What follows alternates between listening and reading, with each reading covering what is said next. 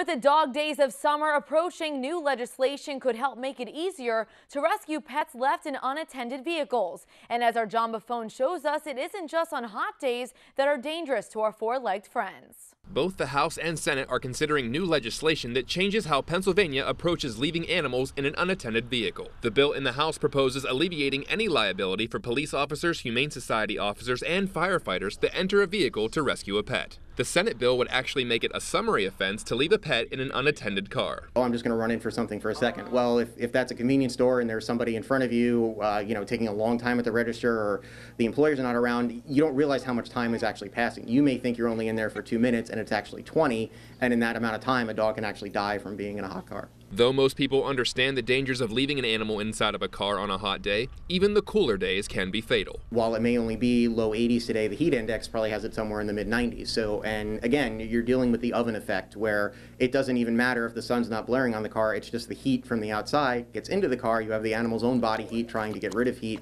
It just creates a real quick oven effect, and temperatures can skyrocket very quickly, even on a cloudy day like today. Now, to prove the effects of staying in a car for an extended amount of time with the windows up, I'm going to go into one of our BRC 11 Jeeps with the windows up with no air conditioning. And even though it's not very hot out today, it is kind of humid and that can still be dangerous. We're going to be monitoring the temperatures inside and outside with these thermometers. So wish me luck.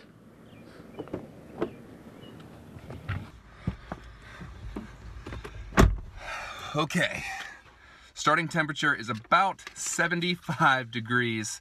Um, it's only about 75 degrees outside, but already I can feel that oven effect that we learned about and it's gonna get pretty hot pretty quick. I've been in for here for about 15 seconds and it's already pretty hot. Okay, we're about 20 minutes in. I can't take it anymore. I'm sweating profusely. All I want is a drink of water. I, I gotta, I gotta get out of here. I'm out. Okay, so it is about 95 degrees in there. I am sweating through my shirt and it is a cooler than usual evening in June. All I want to do is have a drink of water. Folks, don't leave your pets in the car. That's all I can say. I'm going to get a drink. Thank you, John. I think you also might need a shower.